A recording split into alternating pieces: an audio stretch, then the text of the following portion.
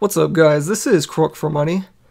This is going to be the first episode in my scripting series, and the first thing we're going to tackle is making a working pay and spray. If you don't know, in MTA, they disable all the scripts or take them out or whatever, so even the pay and sprays don't work, so we're going to try to make a working pay and spray. And to start off, obviously going to be on fixed vehicle because that's what the pay and sprays function is going to be is to fix the vehicle. And on the wiki which we're always going to be using they always have these examples which you can pretty much use by themselves but of course you know if we use this uh, fixed vehicle script then it's just going to fix all the vehicles. And we don't want all the vehicles to be fixed. We want them to be fixed in a fixed location, which is the pay and spray, and yeah, that's pretty much it. We just we don't want this to fix like everything that's on the map, so we're gonna be using that. Um, of course, should probably show you guys how this works since this is the first episode and all that. Alright, so I actually have a DYOM And or MTA and the MTA server as shortcuts on this, but always end up having to use this anyway because I have to go to the folder. So usually I just go to properties and then open file location. Then that'll take me to this. And then that's where you can see your multi-theft auto. Then you go to server, and then that's where you find your server, which you're going to be using. So I'm just going to open that right now and then you just wait for that to load and do all the things. You can see CTKRP. It's my server name. Um, probably should have went over that, um, how to do that. Let's go over it real quickly, I guess. Just, you know, things. Um, you go into your deathmatch folder, and then you find your MTA server, which is the config file. Open that up. And then where it says server name right here, you just, in between these things, you just put whatever name that you want. Then that'll be what your server name is called. And in this server config at the very bottom, this is where we have all of our resources that we put in the folder um, in the game that start up. So all of these start up. Um, and then all the ones with these little bracket things all of these are the ones that don't spawn or uh, start up, so all of these don't start. Um, only the ones above it, which are admin and all these other crazy things that I have. I did quite a few things, mostly uh, just other people's scripts that I took off of websites and stuff, so just to like figure out scripting and all that. Alright, so um, so you can see here now, it says um, loading of resource pay and spray failed because I haven't even started the script for it, of course. We're going to be doing that in this video. Um, but I have like a bunch of scripts and stuff, but uh, you gotta wait till all this loads up and all that, and then you can actually you can actually uh, use the scripts, which are labeled as resources. So uh, yeah, something happened to my player spawn as well. I don't, I don't know. Weird stuff always happens. Server started. Congratulations. Blah blah blah. And now we go into the thing, which uh, right, I'm on display capture. That's good. So now we would go into the game, MTA, It's gonna take take a while as well. The only reason why I don't have all this set up already is because I just want to show you guys the steps of how you would go about doing all of this. Um, I was going to leave that out, but it's kind of a important thing if you want to get into scripting, or if you're just curious about how all of this works. It's probably a good idea to kind of start out and uh, show you guys how everything works to begin with, rather than explaining it later, which isn't really helpful.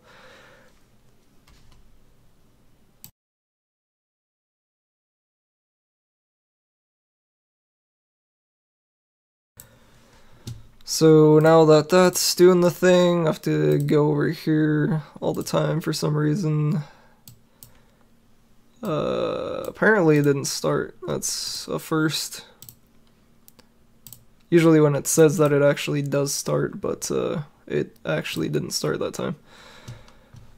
Alright, so while we're messing with that, I guess, um, I could show you guys. Alright, so how we're in the deathmatch folder, this is the deathmatch folder where we had the config file and all that. If we go into the resources file, this is where all our resources are. So these are all the scripts that we create or already have access to. Um, so I made this player spawn thing. I kind of just like took this from someone else and it happened to have like the same everything that I needed. So it, it all worked out. But uh, you can see the really short script on spawning your character in the very beginning on player join, spawn, all that. Um, how this script actually works though is you have to have a Lua file and then a meta file which uh, you put the Lua file in and since spawning as a server type um, then you would make the type server and then spawn Lua and that's basically like how it would go. Um, this part right here I don't even need this I don't know why I added this. I think it's just because I took it from uh, some other dude who made this spawn thing. I, I don't know. I was probably like still really, really new when I added that for like no reason. But uh, that, that little line at the bottom had like no purpose. I'll just keep it anyway just because why not?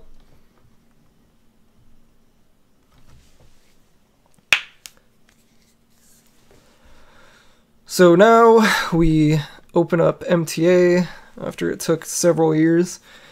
And now that we have our server open and it's running, we can go here to local and open up the server.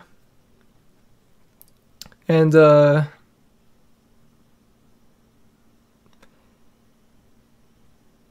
yeah, if you guys want like a running server though, you have to like go to a website. Like if you want it over the internet, as of right now, the server is just running through this PC, so... Okay. It's interesting.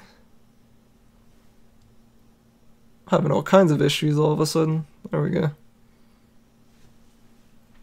So I already have like a bunch of scripts already running because I already have like um, some scripts that I added to auto start, so stuff like uh, save system so I don't have to log in to my account all the time and then which gives me access to the admin panel. I just want to be able to load in and already have that accessible to me without having to log in every single time I restart uh, MTA. So as you can see I already have like this working so it's from my last video. And I added this cop right here, which doesn't do anything. He has no purpose. Also added this other script to where I can actually like click on things, but he's not interactable. I haven't really like looked into how to make things interactable, so no idea how that would work, but uh Okay, that's turned off, that's good. It's uh Alright, I wasn't even sure if you could turn the music off because, uh, I think in some servers, like, that's not even an option or something, I don't know. So we're gonna drive over to Pay and Spray for no reason. Other than the show, I guess. Um, that the Pay and Spray has no like it doesn't work or anything like that. It isn't even open, it's just like closed with the... That's interesting. I didn't know that they just like closed the Pay and Spray, but apparently that's a thing. So, what we're gonna do is we're going to slash editor, wait, no, we have to slash start editor. Which is gonna let us go into the map editor, which we're to need to create a realistic pay and spray. I mean, I could just like, I could literally just, if I wanted to, always have this issue. It's like, I want to, I'm running this locally. How do I have network trouble? I don't get it. I don't even need the internet. What's going on? There we go. Alright, so like realistically, like if I created a pay and spray, I could create a pay and spray anywhere. I could like create a pay and spray on this customer parking lot or like in the middle of the street or like some random location. But if we want like a realistic pay and spray, then we need to actually make it function inside the pay and spray. So first of all, we're gonna have to get rid of this door. So if we go to remove uh, world object remover, then we can click on it and then delete. So now that is gone. Actually, we can control Z and put it back because I actually need to... I think I can copy it. Alright, it's been cloned, so yeah, control C, copy it, and then delete it. Don't want it anymore. And then control V, Okay, it, what the? Okay, what? Anyways. Can I move this? That's... I don't know if I can actually even move it. I'm gonna try to skip past all the parts where I just like don't know what I'm doing by the way. So hopefully it's a little more entertaining. Um, there is a way to move this, but Alright, you can move it that way. I want to move it up though. That's not right. I think I actually put this here. I don't know. Yeah, I'm pretty sure like I put this here. Because I'm pretty sure there's not a door originally. Alright, so...